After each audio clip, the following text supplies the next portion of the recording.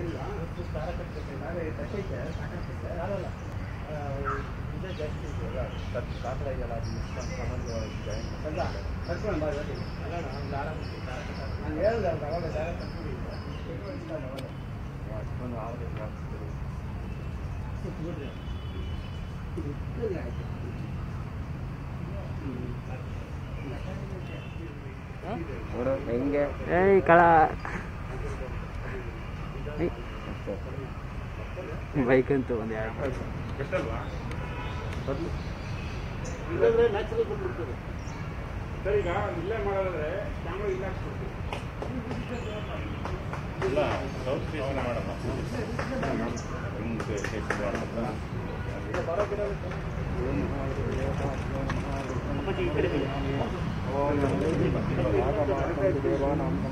ಇಲ್ಲಾಂದ್ರೆ ನ್ಯಾಚುರಲ್ ಬಂದ್ಬಿಡ್ತದೆ ಸರ್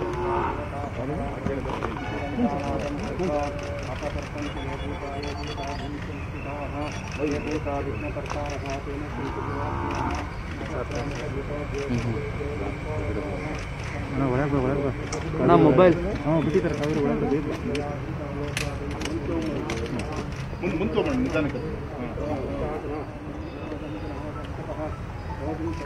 ಹಾಕ್ಸ್ಬಿಡ್ತೀವಿ ಇಲ್ಲ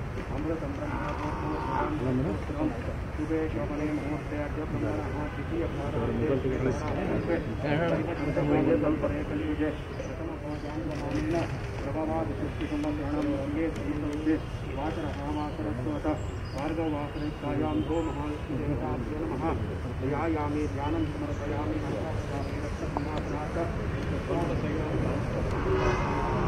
Very good.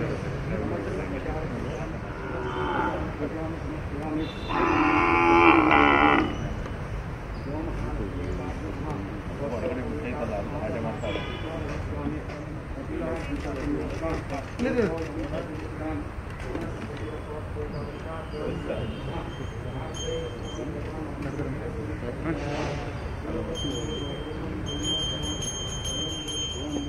स्वः तत्सर्ववर्णं वर्गो देवस्य धीमहि धियो यो नः प्रचोदयात् सत्यं पापेन पवित्रं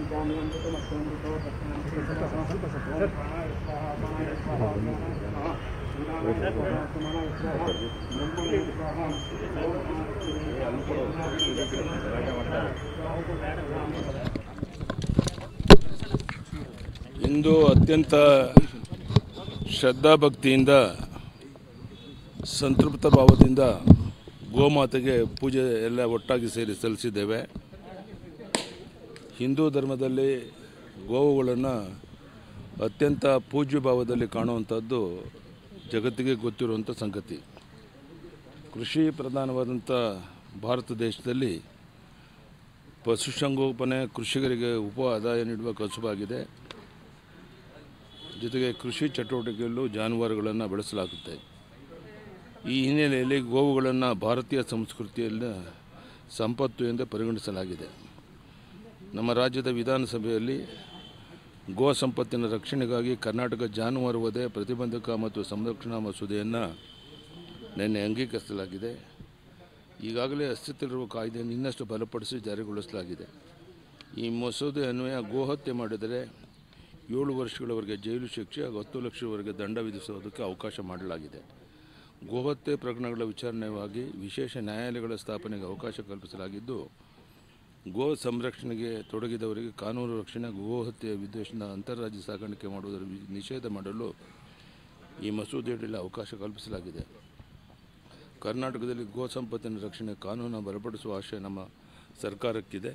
ಎಲ್ಲಿ ಗೋವುಗಳನ್ನು ಸಾಗ ಸಾಧ್ಯ ಇಲ್ಲ, ಅಲ್ಲಿ ಗೋ, ನಾವು ಗೋ ರಕ್ಷಣೆಗೋಸ್ಕರನೇ ಒಂದೊಂದು ಅಗತ್ಯ ಇರೋ ಕಡೆ ಗೋರಕ್ಷಣಾ ಒಂದು ವ್ಯವಸ್ಥೆಯನ್ನು ಮಾಡಿ, ಅಲ್ಲಿ ಗೋವುಗಳನ್ನು ಸಾಕುವಂಥ ವ್ಯವಸ್ಥೆಯನ್ನು ಮಾಡ್ತೇವೆ. ಸೊ ಅದರಿಂದ ರಾಜ್ಯದ ಜನ ಬಹುಶಃ ನೆನೆ ಗೋಹತ್ಯೆ ನಿಷೇಧ ಕಾಯ್ದೆ ಜಾರಿಗೆ ತಂದದ್ರಿಂದ ನೂರಕ್ಕೆ ತೊಂಬತ್ತು ಜನ ಸಮಾಧಾನ ಪಟ್ಟಿದ್ದಾರೆ, ಸಂತೃಪ್ತಿ ಪಟ್ಟಿದ್ದಾರೆ. ನಮ್ಮ ಚುನಾವಣಾ ಪ್ರಣಾಳಿಕೆಯಲ್ಲಿ ಹೇಳಿದ್ದೆ ನಾವು, ಈ ಹಿಂದೆನೇ ಗೋಹತ್ಯೆ ನಿಷೇಧ ಜಾರಿಗೆ ತಂದಿತ್ತು, ಅಂದಿನ ರಾಜ್ಯಪಾಲರು ಕೆಲವು ಕಾರಣಗಳು ಹೇಳಿ ಮಾಡಿರಲಿಲ್ಲ. ಅದನ್ನು ಪುನರ್ ಮತ್ತೆ ಗೋಹತ್ಯೆ ನಿಷೇಧ ಜಾರಿ ತಂದಿದೆ ಪರಿಷತ್ನಲ್ಲಿ ಪರಿಷತ್ನಲ್ಲಿ ಇದು ವಿಧೇಯಕ ಮಂಡನೆ ಆಗಲೇ ಇಲ್ಲ ಸುಗ್ರೀವಾಜ್ಞೆ ಮಾಡ್ತೇವೆ ಅದಕ್ಕೋಸ್ಕರ ಪರಿಷತ್ನಲ್ಲಿ ನಿಮ್ಗೆ ಗೊತ್ತಲ್ಲ ಸಂದರ್ಭ ಅವರು ಸಭಾಪತಿಗಳು ಸಹಕಾರ ಕೊಡ್ತಾ ಇರಲಿಲ್ಲ ಹಾಗಾಗಿ ಅದು ಸುಗ್ರೀವಾಜ್ಞೆ ತರುವಂತ ಅಲ್ಲ ಅವ್ರ ಹತ್ರ ರಿಕ್ವೆಸ್ಟ್ ಮಾಡ್ಕೊತಾನೆ ಸಾರಿಗೆ ನೌಕರರಲ್ಲಿ. ವಾಸ್ತವಿಕತೆಯನ್ನು ಅರ್ಥ ಮಾಡ್ಕೊಳ್ಳಿ ಕೋವಿಡ್ ಹಣಕಾಸಿನ ಸಂಸ್ಥೆ ಇದ್ದಾಗ ಈ ಥರ ಗೊಂದಲ ಉಂಟು ಮಾಡಿದಾನೆ. ದಯಮಾಡಿ ವಾಪಸ್ ಹೋಗಿ ನಮ್ಮ ಕೆಲಸ ಕಾರ್ಯಗಳನ್ನು ಭಾಗವಹಿಸಿ ಮತ್ತು ವಿನಯದಿಂದ ಅವ್ರಿಗೆ ಪ್ರಾರ್ಥನೆ ಅಲ್ಲ ಕರೆದು ಮಾತಾಡ್ತೀರಾ ಸರ್? ಈಗಾಗಲೇ ಸಾರ್ವಜನಿಕರು ಬಸ್ ಎಲ್ಲ ನಮ್ಮ ಇವರು ಮಾಡಿದ್ದಾರೆ ನಮ್ಮ ಸಂಬಂಧಪಟ್ಟ ಸಚಿವರು ಎಲ್ಲ ಮಾತಾಡಿದ್ದಾರೆ.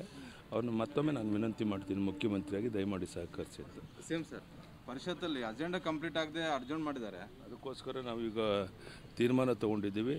ಮಂಗಳವಾರ ಮತ್ತೊಮ್ಮೆ ಅಧಿವೇಶನ ಕರಿಬೇಕು. ರಾಜ್ಯಪಾಲರಿಗೂ ಮನವಿಯನ್ನು ಕಳಿಸಿದ್ದೇವೆ ಈಗಾಗಲೇ ಚು ಯಾವುದೇ ಕಾರಣಕ್ಕೆ ಆ ರೀತಿಯಿಂದ ಅಬ್ರಪ್ಟಾಗಿ ಈ ಅಧಿವೇಶನ ಮುಂದೂಡುವಂಥ ಅಧಿಕಾರ ಸಭಾಪತಿಗಳಿಗೆ ಇಲ್ಲ. ನಮ್ಮ ಕೋರ್ ಕಮಿಟಿ ಸಹ ಬೇರೆ ಬೇರೆ ಸ, ಸ- ಸಭೆನಲ್ಲೂ ಸಹ ಮಂಗಳವಾರ, ಬುಧವಾರದವರೆಗೂ ಅಧಿವೇಶನ ನಡೆಸಬೇಕು ಅನ್ನೋ ತೀರ್ಮಾನವನ್ನು ಬಿಸ್ನೆಸ್ ಅಡ್ವೈಸರಿ ಕಮಿಟಿಲಿ ತೀರ್ಮಾನ ತಗೊಂಡಿದ್ದು ಸ್ವತಃ ಸಭಾಪತಿಗಳೇ ಆ ಸಂದರ್ಭದಲ್ಲಿ ಇದ್ದರು ಆದರೂ ಸಹ ಅವರು ದಡೀರಂತ ಮುಂದಾಕಿದರೆ ಅದು ಸರಿಯಲ್ಲ. ಮಂಗಳವಾರದಿಂದ ಅಧಿವೇಶನ ನಡೆಸಬೇಕು ಅಂತೇಳಿ ಈಗಾಗಲೇ ವಿನಂತಿ ಮಾಡಿದ್ದೇವೆ. ಗವರ್ನರ್ಗೂ ಸಹ ಈ ಬಗ್ಗೆ ವಿನಂತಿಯನ್ನು ಮಾಡಿದ್ದೇವೆ.